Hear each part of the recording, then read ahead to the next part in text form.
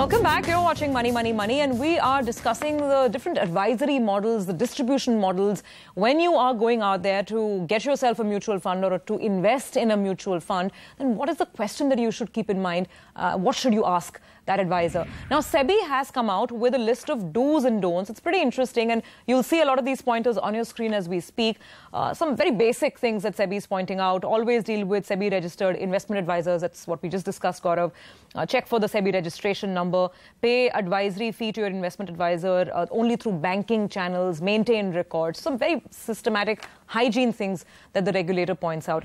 Uh, your do's and don'ts list, Gaurav, I mean, pretty much. So, one is what I said in the beginning that mm -hmm. yes, SEBI registered and qualified and mm -hmm. etc. But also check out the experience. Okay. How many years the person has been in profession, number okay. one. Number two, most important, which I've been saying for years is is this individual full time into the profession? Because we have a lot of these mutual fund and insurance distributors who are during the day doing something else and in the evening and weekend doing a part time work. That doesn't work. So, is the person full time into it? Insist, or if it's a IFA, insist on going to his or her office.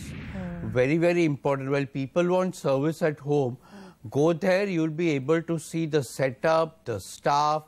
That will give you an idea about the stability. Hmm. All these things are very, very important. How that person maintains record, ask for references hmm. and yeah. check if two things again. Is he freely giving away reference to Hills Health Speak? Because if he's freely giving away references, which means your name could also be floating everywhere.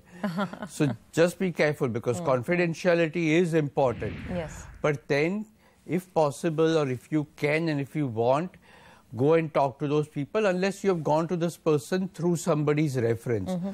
So these are these are a couple of things. How often he conducts reviews? Mm -hmm. Is there a proper letter of engagement being signed? Which I think even this, this is point number eight. That's exactly what I had my eye on. The eighth point in SEBI's do's and don'ts. Insist on getting the terms and conditions in writing, duly signed and stamped. Read those terms and conditions carefully, particularly regarding advisory fees, advisory plans, the category of recommendations, etc uh, before dealing with an advisor. So really, I mean, should you have like a watertight agreement with your advisor? You should. Okay. You must because okay. you're giving your hard-earned money. So mm -hmm. let there be a very clear-cut, black and white terms and conditions laid down mm -hmm. as to what are your responsibilities, mm -hmm. what are his responsibilities, what is he or she going to deliver, mm. how will fees be charged, at mm. what frequency, how does he maintain his confidentiality about his staff? All those things has to be very, very clear. If there are disputes, hmm. is there arbitration? Can you go to court? You need to apply to SEBI. All those with jurisdiction. Hmm. All those things are very, very clearly uh, narrated or clarified in all letters of engagement mm -hmm. and that should be adhered to and followed. In mm. fact, this is again one more litmus test. If somebody is just starting without it, there's something wrong. Okay, I think uh, those are important words and good advice to keep in mind.